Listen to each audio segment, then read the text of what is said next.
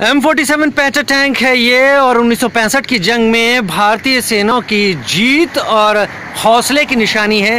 ख़ास बात ये कि इस टैंक को पूरी ठीक हालत में कैप्चर किया गया था। इस टैंक को छीना गया था तेईस कैवलरी रेजिमेंट ऑफ़ पाकिस्तान से, जिसको कि बारकी ब्रिगेड के सोल्जर्स ने, सैनिकों ने बैटल ऑफ़ बारकी 1965 में कैप्चर किया था।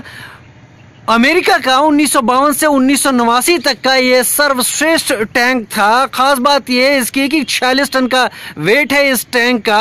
100 एम mm की इसका आर्मर था और इसकी जो प्राइमरी आर्मामेंट था वो करीब 90 एम mm की गन थी।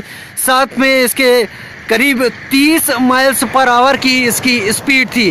किसी भी सेना के लिए ऐसा कोई टैंक कैप्चर हो जाना जो कि अपनी अच्छी हालत में हो और जंग के मैदान में मुकाबला करने में सक्षम हो, एक बहुत ही सदमे जैसी चीज़ होती थी। हालाँकि पाकिस्तान की सेना को बारकी ब्रिगेड के ज़रिए मात खानी पड़ी। करीब लाहौर से 14 किलोमीटर पहले 11 सितंबर 1965 को भारतीय सेना ने पाकिस्तान की सेना का मुंहतोड़ जवाब दिया और इस M forty seven Patton tank को अपने कब्जे में ले लिया। खास बात यह कि पाकिस्तान की तो उन्नीस सौ पैंसठ के युद्ध में हार हुई ही, लेकिन इसके साथ ही अमेरिका का एक नामी टैंक भी अपनी पहचान खो गया।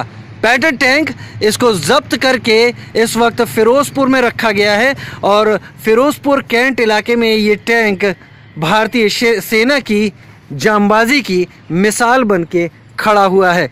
तो ये तस्वीरें हैं M forty seven Patton tank की, जिसे जब्त करके जीत की निशानी के तौर पर कैंट इलाके में खड़ा किया गया है। अगर आपको ये कहानी पसंद आई हो और अगर आपको भारतीय सेना का ये जज्बा, जो कि आपने T V tube amazing world पर देखा, आपको पसंद आया है तो सब्सक्राइब कीजिए हिट कीजिए लाइक कीजिए और शेयर कीजिए हमारे इस वीडियो को।